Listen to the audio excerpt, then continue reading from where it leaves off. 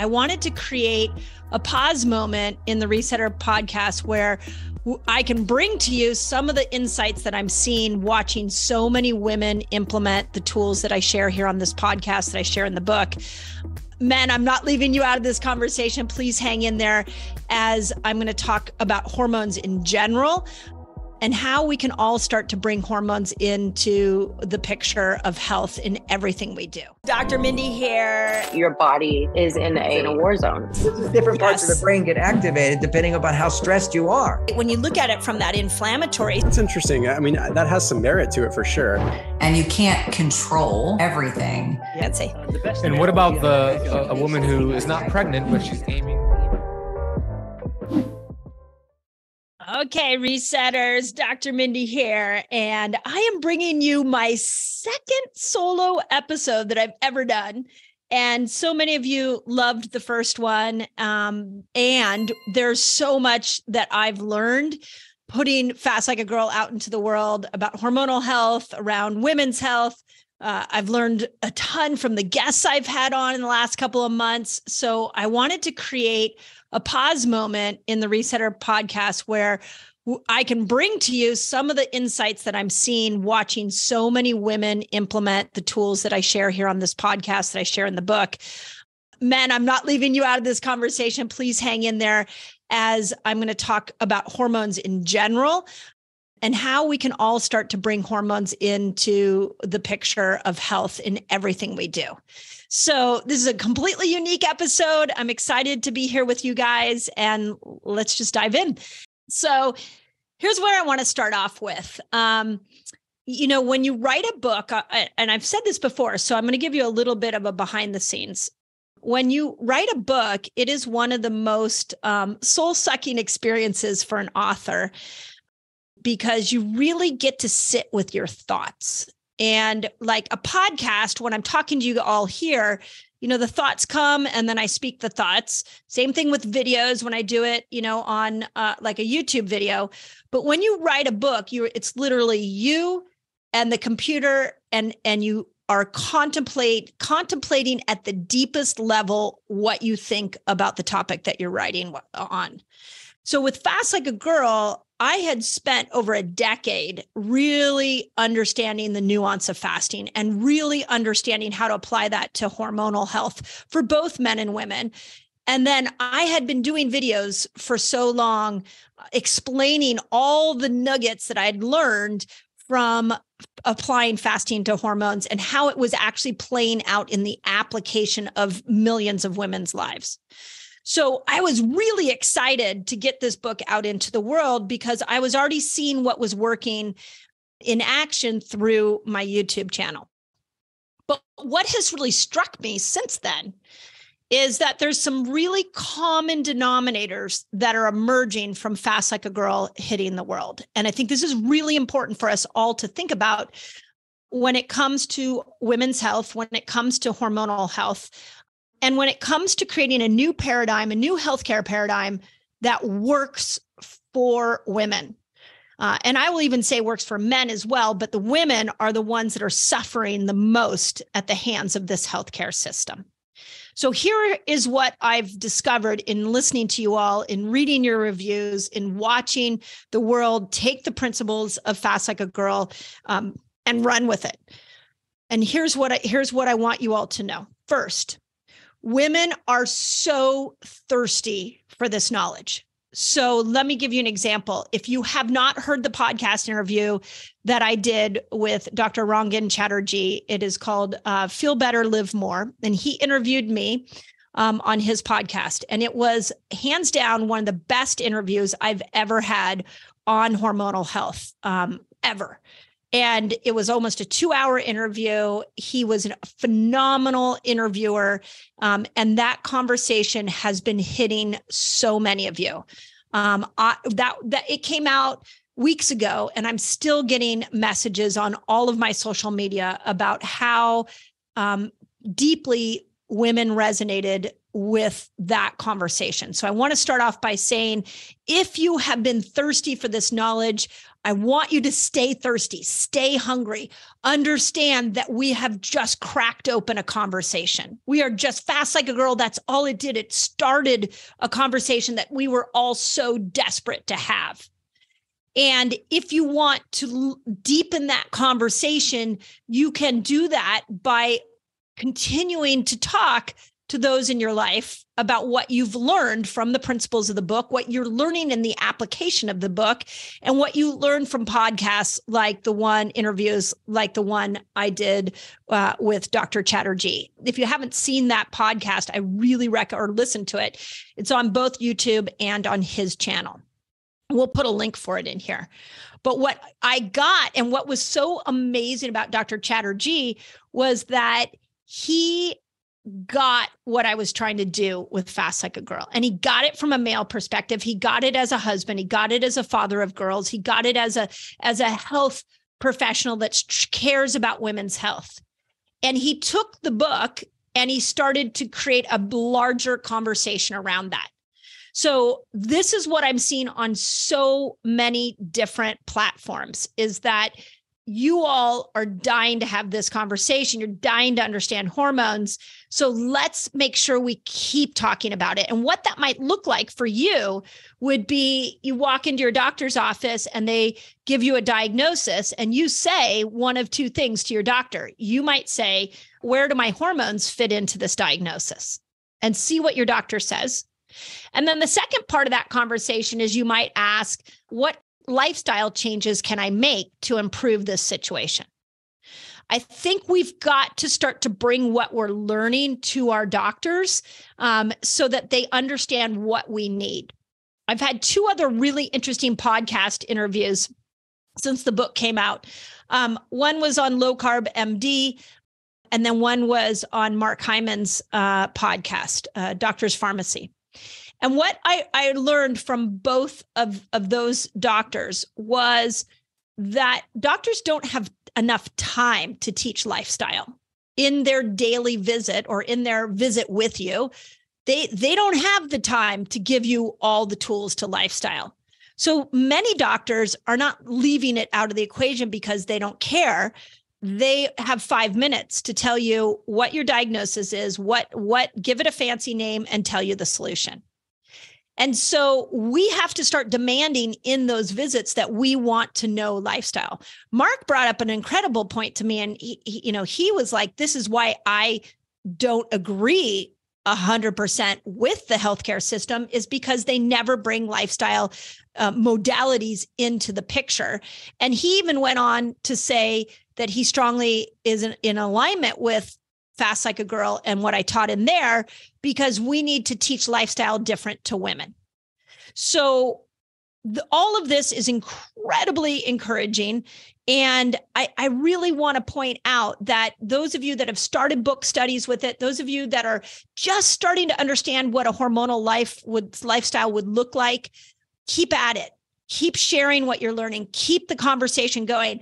I promise you, Fast Like a Girl was just there to spark the conversation, to start the foundational understanding. Um, now it's our job to keep it going, to keep learning, to keep applying the principles. And I and I hope you all are hearing here on the Resetter podcast that I continue um, to bring it back to all those teachings in Fast Like a Girl. Every person I'm interviewing, I'm trying to bring those teachings back into those interviews so that you start over time to see how to apply this to your life. So that that's been my my first takeaway is that women, men, doctors are so thirsty to understand how a lifestyle matches their hormonal balance and that's key. That's amazing. And and it's it honestly I've been in healthcare for over 25 years. This is the most hope that I've had in a really long time watching how the world has grabbed on to fast like a girl. People, doctors, want change. So let's, we got to keep the conversation going so they understand what the change should look like. So that would be the, one of the first things. The second thing that I saw since Fast Like a Girl has come out is that all kinds of hormonal problems can be helped when you just bring a woman back into eating and fasting for her hormonal rhythm. Doesn't matter if she's 25 or 65. If you can teach a woman how to live a life that works with estrogen, works with testosterone, works with progesterone, now you start to see a ton of symptoms change and a ton of conditions change. This is what I saw clinically in my practice. This is what I saw on all my social media. And this is what I'm now seeing in the millions of women that have poured onto my platforms um, over the last couple of months and have shared their experience. So, it, you know, a lot of the questions I get are, well, how do I fast like a girl around PCOS? How do I fast like a girl around thyroid health? How do I fast like a girl around uh, infertility? And what I want you to know is that the principles of the book will work for all of those things. Here's the challenge you've got to find your rhythm with it and what is going to work best for you. So even though we're all living in feminine bodies, there is a lot like your microbiome and my microbiome are completely different. And our genetics are obviously different, but they're pretty pretty similar, believe it or not and our hormonal needs are are absolutely the same except we have different levels of hormonal depletion. So this conversation is a hard one to start let me tell you because it it's not as simple as me saying you should do this you shouldn't do that. It's really about you getting to understand your hormones and what where they're at. So let me give you a couple of insights that might be helpful First is I always say, let's start with the free path to get to know your hormones. The first thing you'll hear me say a lot is how important it is that we know the personalities of these hormones. So let me just give you a nutshell. What are the personalities of the hormones? So estrogen is your extrovert. She is the one that wants to go out and party. She wants to verbally process every process everything. She has a lot of mental clarity. She wants always to go out on an adventure. She is absolutely the extrovert of the hormonal bunch. She also doesn't get bothered by much. So she's okay if you bring cortisol up. So if you want to go run a marathon, you want to do a longer fast, you want to you want to uh, work extra hard, you want to skimp on sleep, estrogen's going to probably be okay. And for a cycling woman, estrogen is coming in from day 1 to day 10 and day 16 to day 19. So those are your power moments. That's why I called it the power phases in the book because those are the moments you get to power up on whatever tool you want. Um, you also are more stress resilient during that time. Uh, remember, this is a, on that point. Remember, menopausal women, as we lose estrogen, we become less stress resilient. I can tell you, as a 53 year old woman, I'm really watching my brain and how it's reacting to stress differently with less estrogen in it. So if you find yourself being bothered by things, understand that it could be a factor of estrogen and that's okay. That's okay. We don't as women, I can tell you like I I think we can accomplish anything. I think we are so ridiculously powerful. And in that, we're also needing more, more nurturing of ourselves. We need more recovery. We aren't like on our A game every single month of our cycle because our hormones have such dramatic differences and needs and they swing in such unique ways so if we're looking at the that progesterone and we're looking at her personality that's her she can handle a lot now, from a lifestyle perspective, what estrogen wants you to do is to keep carbs down, wants you to keep insulin down. Um, and this is why fasting and keto works so well to keep estrogen at its best. So, a lot of the comments that I'm seeing on Amazon and the reviews that have just uh, bring me to tears are the number of women that are getting pregnant using being able to overcome infertility using the fast like a girl cycle and the fasting cycle in there. And the reason for that is what I'm showing is a lifestyle that works best for estrogen. And once you bring estrogen back into balance, um, so much of your hormonal system will work.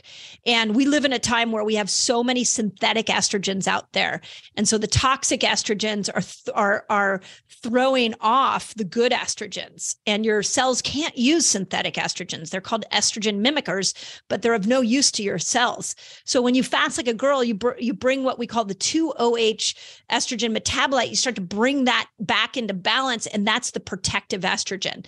That's why we are seeing women being able to get pregnant once they start to learn when to go keto and when to go longer fast. But we're also seeing it in the menopausal women. You know, with the menopausal women, if you've had hot flashes that's estrogen on a wild ride and you you often are dealing with the estrogen um, disruptors that are out there so fasting like a girl even if you don't have a cycle doing the 30 day fasting reset is really helping to overcome hot flashes and um, if you've heard me on any of my podcasts lately, or I've been ranting about this in my Reset Academy, um, I, the article that came out in the New York Times uh, about a month ago, uh, ha- asking us all to relook at HRT for women. As eye opening as it was, didn't have all the right information in it. This is a, a, menopausal woman's journey is is not as simple as a discussion of HRT or no HRT it's it, it, taking bioidenticals doing hrt is a personal preference but you're still going to have to work on your lifestyle. And i'll talk about the lifestyle here in a moment that a that a menopausal woman should have. And you're still going to need to mind what estrogen wants and even if you're bringing her in from an exogenous source, you're still going to have to work on your liver. And you can do that because the liver breaks down estrogen. You can do that by, you know, minimizing your alcohol intake, uh, eating more bitter foods, looking at certain medications like acetaminophen, which is Tylenol, that's super destructive to the liver, uh, dealing with with ang- resentment and anger, which is also an emotion held in the liver. You're still going to have to love on that liver for her to be able to break down the exogenous estrogen that comes in from uh, a, a source like a bioidentical or HRT. And then we also know you have the whole microbiome of your gut. We still need to make sure that we're minding the estrobolome, which is the set of bacteria that break estrogen down. So you're still going to have to do the three P's that I talk about in the book the polyphenol and the probiotic and the prebiotic uh, f- uh, foods so that you can take the estrogen that you're getting from the outside and actually be able to use it. So eh, that's what estrogen wants the lifestyle she wants you to live is. More vegetables easy easier on the liver more bitter foods less glucose less insulin more fasting. That's estrogen. Now progesterone i've mentioned is completely on the opposite end of the spectrum she is she's she's not that way. She wants you to bring glucose up. This is why you're more hungry the week before your period. This is why even in menopause you know i'm six months into my menopausal transition and i can tell you that um, there are some days that i'm like wow am i hungry? And i translate that into okay i must need more progesterone. Let me eat more carbs. Let me fast less how can i bring my glucose up? So that is progesterone's personality is she wants to calm you. She actually wants you to go more inner. We're really intuitive. If you have a cycle, we're very intuitive that week before our period. So that's progesterone. She she makes us want to go within, which is actually if you, a beautiful thing if you stop and you think about it. Because when we actually bleed, there we're not just shedding blood, but you're you're shedding old cells, you're sh- shedding toxins, you can even shed thought patterns that no longer serve you. So I I would love to see a world where the week before our cycle, we actually go within and we say, okay, when my cycle starts again, what am I what do I want to let go of? And if we really got in touch with that, bringing the glucose up, nurturing ourselves, slowing our life down, then I don't think we would have PMDD. There wouldn't even be that diagnosis of uh, this premenstrual disorder. Premenstrual disorder means you just lived out of alignment with your hormones and you're suffering because of it. But to live in alignment with progesterone means you're going to need to fast less. You're going to need to exercise less. You're going to need to bring glucose up. You're going to need to go within and nurture yourself and, and get ready for what you want to let go of when you start to bleed. And uh, progesterone does that by making you crave carbs. She wants higher carb content. She she wants you to not be fasting. She wants you to slow down. So pushing through your workouts during this time, pushing through life during this time is is going to create a hormonal mess for you. My postmenopausal women, again, you're going to notice this when anxiety goes up. You're going to notice this when hunger goes up, when carb cravings go up. That's progesterone knocking on the door saying, Hey, I need a little support here. How can you help me? Now, testosterone we get the most and i've been having a lot of fun talking about this out in the in the world we get the most amount of testosterone at ovulation so that there's a reason for that and it's not just libido it's not just reproduce um, which at the core of a female body whether you like it or not we our bodies are made to reproduce and so testosterone comes in from day 10 to day 15 to not only increase our libido, so you'll probably notice that your sex drive goes up during that time, but our motivation and um, will also for new projects will go up. And um, our uh, our desire to make changes in our life often will go up. And so it's an incredible time uh, during ovulation to start a new creative project to do something that is going to move your your health your life forward in a new direction. Change will do really well. You want to change? Change at that time because you have all those hormones there to protect you and assist you through that change. And that's really what testosterone does now, testosterone doesn't really, there, there's not like testosterone controls your hunger, or Dr. Carrie Jones and I have debated this over and over again. She strongly believes that there's no such thing as eating for testosterone, although we know you need zinc, and there are foods that are high in zinc, like oysters. I always think that is so interesting that we used to think, you know, we call oysters an aphrodisiac, but then we, if we break that down, why? It's because it's got a, one of the highest amounts of zinc in it and so that is actually fueling testosterone, which is fueling libido. So we're going to like the root cause of what testosterone needs. So testosterone also really thrives with fasting.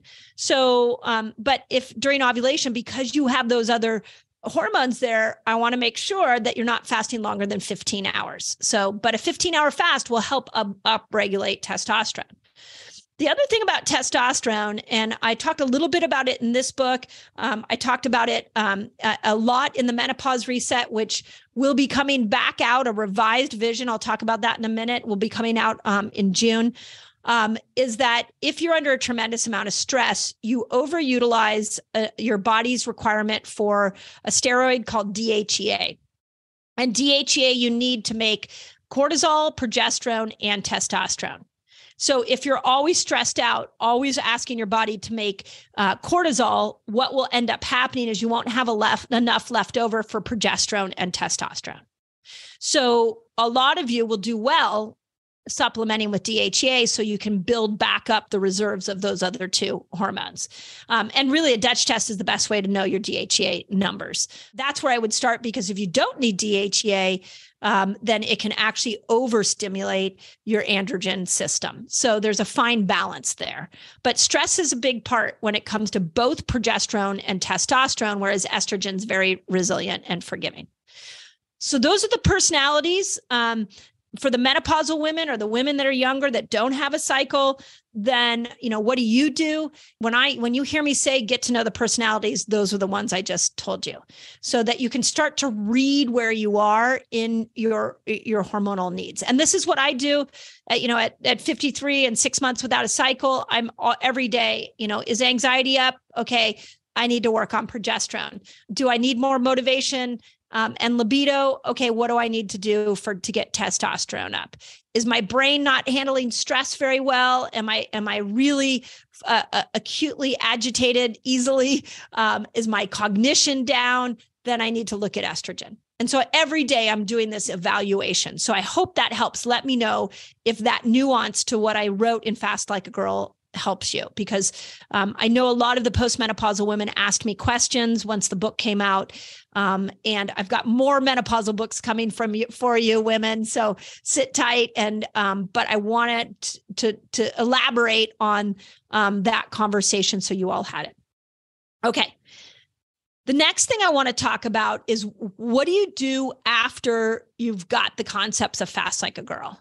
And um, this is where the menopause reset really comes into play.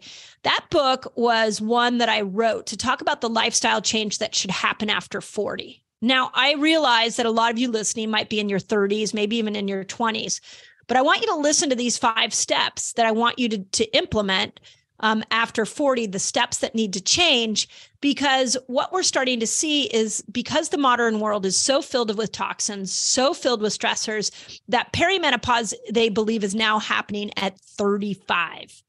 So when we start to see dramatic hormonal imbalances, specifically in the direction of depletion, so like PCOS is too much estrogen or too much testosterone, uh, perimenopause, infertility, these are not enough um, of certain hormones. So when we start to see that there's these dramatic depletion and change in hormones, our lifestyle has to change. And here are the five steps I want you to think about. First, I just talked about it fasting. We need to learn how to pull out the different fasting lengths. Um, there's the six different fasts I lay out in Fast Like a Girl. Practice them all. I, I continue to say they're like a Swiss, Swiss Army knife. Um, and sometimes you pull out the big knife, sometimes you pull out the tweezers, sometimes you pull out the corkscrew. You get to decide which of those six you're going to pull out according to what you're trying to heal. Are you did you just go on antibiotics? Okay, well then you're going to need to work on healing the gut a little more 24 hours. Um, are you worried about your toxic load? Um, do you feel like your your your brain is aging quickly? Let's go into autophagy and start to clean up some of the neurons in the brain and get rid of some of the senescent cells, the rogue cells, the zombie cells that are that no longer serve you. If you are not happy, you're having some mental health issues, how about we throw a 48 hour fast in so we can start to reset the dopamine system? If you're stuck with weight loss, why don't you throw a 36 hour fast in so we can unstick your weight? So when you go to build your fasting lifestyle, some of the longer fasts, you're not going to use them all the time. You're going to throw them out as healing tools to reset certain parts of your body. So, the first step when we look at what lifestyle needs to change is that women need to step in and look at how to use those different length fasts according to their therapeutic um, value. Okay, second one is we need to cycle carbs. And uh, again, this is, I've already said this, this is a fast cycle girl. I show you how to cycle high carb and low carb according to your menstrual cycle. If you're in your perimenopausal years, um, get to you know get to that ebb and flow if you have a regular cycle if you don't have a regular cycle um, you're going 60 days 120 days then you may need to just read the personalities like one day you're not hungry Okay, great. You can fast a little longer. Next day, you are starving and it's nine o'clock in the morning. That's not time to, to push through the fast. Let's go into more high carb for progesterone. So that's how I use that. And, and again, if you're if you're needing more help with this, this is a lot of what we do in the Reset Academy is teach, have conversations like this so that we can teach women how to ebb and flow with their carb load. So that's really step number two. Um, I want to throw one other thing that I that I if I could go back in and write a little bit more in the fast like in fast like a girl. Here's what I would say: is we we do need to look at thyroid. And the thing about the thyroid is that it needs enough calories. And I don't talk about calories a lot because I want to break apart this calorie obsession that we've had as women. But what that means for you is when you go low carb, I want to make sure you're still getting enough calories. You should be getting over uh, like somewhere around 1200 to 1500 calories every single day for thyroid health. So those of you who've been fasting maybe saw your thyroid tr- have an adverse reaction when you're eating, make sure you're having enough calories and especially on those low carb days. So that's that's number 2 lifestyle change. First is you're going to vary your fasts figure out those six, what works best for you. The second is you're going to work on cycling high carb, low carb, and understanding what that rhythm looks like for you. Third one is your microbiome. We don't talk about this enough. The microbiome controls almost every aspect of our health. So I want to use the example of serotonin. So something that happens to women after 40 is that as estrogen goes down. Estrogen is a precursor to dopamine and serotonin. So when you start to lose estrogen, you lose a key fuel source for serotonin. What that means for you is that you might be find that you're just not as happy as you used to be. You're not, you're not, you don't have the joy that you used to have. So if you also have been on birth control for decades, you've been on multiple rounds of antibiotics, you've been, used steroids a time or two, your microbiome might be decimated. It is not does not have the diversity that it needs to have. So you're not having the hormonal stimulation of serotonin and your microbiome isn't in a place to make serotonin. So therefore, you're ending up in a depressed state. Nothing is making you happy. So the third change that needs to happen for women over 40 is that we've got to start to bring in the polyphenol, the probiotic and the prebiotic foods. I spoke of it in the menopause reset. I also speak of it in Fast Like a Girl really leaning into the fibery foods that are going to help promote the growth of your digestive system. So make sure you're eating enough vegetables, bottom line, um, and specifically ones that are um, feeding those microbes, but also looking at some of the fermented foods. I saw a lot of comments from you all that as you brought fermented foods back into your life, you started to lose weight. Well, that makes sense because you healed your gut and you have a neuronal connection from the gut or a nervous system connection from the gut to the liver. And so, as the gut health improves, liver health improves. And what we know from that is the liver is your fat burning organ. It's what's going to help you make ketones. Um, it helps you make cholesterol, the good cholesterol. So, you can't look at the liver without looking at repairing the gut. So, make sure that you're doing that. That's the third step. Um, the fourth step step of uh, that women should look at after 40 is really making sure that their toxic loads are at a minimal. So this is where look at your beauty products, look at your household cleaners, um, stop wearing your favorite perfume that might be high in phthalates, move to essential oils. If there ever was a time to address toxins, it's after 40. I mean, you can do it before. I highly recommend it, especially women that are trying to get pregnant. Remember that you're going to pass on your toxic load to your child. So I always think detox is important anytime, but especially I want to make sure that we are bringing our toxic load down as we move into the perimenopause and menopause years. Understanding how to detox is critically important if there ever was a time to detox, it would be in your 40s. So, um, and if you need more information on detox, let me know. I'm working to bring more experts on. Um, I can do more videos in detox. So just leave me a comment or a review um, with this podcast. I do read my reviews. Um, so if you want to learn something more, put it in those comments. Okay, so number four is detox. And the fifth lifestyle change that we need to consider after 40 is uh, what, what Libby Weaver calls the rushing woman syndrome. So this is the overscheduled, um, overwhelmed nervous system. You as you age, it becomes more and more important that you learn how to go into times of fight or flight where there's stress and how to go into times where you relax if you if you are sitting on the couch and your brain is saying screaming at you saying get up get up get up um, you're you're not in a balanced nervous system. If you're having trouble sleeping you're not in a balanced nervous system. So learning how to go in and out of these two states is massively important. In the menopause reset um, which will come back out it's a revised edition will come back out in june I have a whole chapter not only on rushing woman syndrome, but I added a new chapter. So if those of you that have read the menopause reset, I added a new chapter to it. Um, and that chapter is on sleep. So, and I put my favorite sleep hacks. I give you a whole different perspective of sleep. So, I'm really excited um, to add that back in. So, those of you that um, have bought the menopause reset in the past, this one has new information. So, I want to make sure that you get that as well. So those are the five lifestyle changes that really need to change after 40. We got to look at varying our fast and even starting fasting. We've got to look at carb cycling in and out. We've got to look at, at feeding constantly and loving on our microbiome, which also includes our liver. We got to look at our toxic loads and studying the art of detoxing. And we've got to look, look at how we start to manage stress or what I call practicing parasympathetic, really working on those moments where our energy uh, uh can be a little bit lower. We're not constantly doing over and over again. And what I found when I put the menopause reset out a couple of years ago is that when women did that, hot flashes went away. women started losing weight, moods improved, it, sleep improved. It was pretty dramatic. So um, between Fast Like a Girl and uh, the menopause reset, you've got two really good tools now for lifestyle around hormonal health. And I'll let you in on a little secret.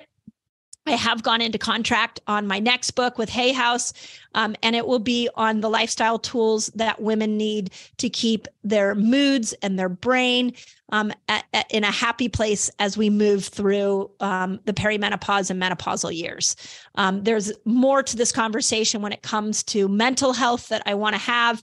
And in the next book, we will have that. And then you literally will have a trilogy um, of books that women can use specifically 35 and older to be able to bring a lifestyle together that is going to help her balance her hormones. So I, am in the process of writing that now. Lots of research going into it. I, I can't wait to get it to you. Uh, it'll come out October 2024. So we got a little bit of time. Um, stay tuned to the Resetter podcast because I'm um, interviewing. You'll see that there's a common theme here. I, there's a lot more emphasis on mental health this season because of the research I'm doing for the next book. So um, if you're into mindset and mental health, this is the season for you on the Resetter podcast. So that that is the formula. That what I wanted to do with this solo episode is really help you look at how do you take the information from Fast Like a Girl? How do you take the information from the menopause reset and how do you apply it to your life? Um, I have said this before that when I sit down to do a video or I sit down to write a book, my biggest fear is that we start to look at these uh, teachings as pieces and that all of a sudden people will rush off and start you know thinking that the solution to estrogen is ketones and they start doing exogenous ketones or um, they think that um, oh if i need to um, bring in more collagen I, if to because i don't have enough estrogen then it's the solution is collagen powder. These are all great solutions but they have to have a formula to be able to sit in and that's what i'm here to teach you. Um, i really want to to bring this last concept home which is i'm not giving you fish. I'm teaching you to fish and when you start, those of you, I see so many of you that are listening to the podcast every week. I've, I've heard from so many of you that can't wait for Monday's episode. And what I'm, what I'm trying to do is link them all. I'm trying to bring on experts that help you learn how to fish. Um, and in the intros of each ec- um, episode, I am explaining what I thought you the nuggets were that you were going to want to get out of that um, that conversation, and all of these episodes linked together. So, with enough time, with enough rep- repetition, you'll start to understand the formula for building a lifestyle that matches your hormonal needs. That is my mission. So I'm so excited to bring it all to you. I again really appreciate the kind comments that I've received thank you to those of you that are sharing the book out in the world. I'm doing this podcast right now at the end of March, and the book came out December 27th, and it's still trending in the top 100 of of books um, on on Amazon, which is crazy. It's crazy. So you guys have thank you so much. The Menopause Reset. I'm so excited. If you haven't read it, you can pre-order it now. It has the new sleep chapter. I'm going back into the studio to read it again, the whole book. Um, so it will have an audio piece to it. It will be on ebook, um, and that will be out in June. So you can pre-order it now which would be great. I just want to mention that the pre-orders matter to the bookstores. When they see a large amount of pre-orders, they know to carry more of those books. So pre-orders are really important. So if you are moved to pre-order uh, the menopause reset, I would appreciate that. So Okay, with that, you all you know that I'm going to say I hope it helps because that's the way I feel is that I'm here to provide you information that you might not be hearing. But I do want to end on this and that is you're the hero. You are the hero of your own health story. So if you're not feeling like your own hero, just keep learning, keep listening to what I'm teaching you, keep applying, keep be will, being willing to fail at, at your health endeavors and pick yourself back up again. Be willing to do hard things. We as as women can come together and talk about a hormonal lifestyle that serves us all. And in that, we all win. So if this resonated with you, please share it with a, with a friend, create community, go, go build community around you because that's the highest level of oxytocin you can get. And as you know, oxytocin balances all hormones out.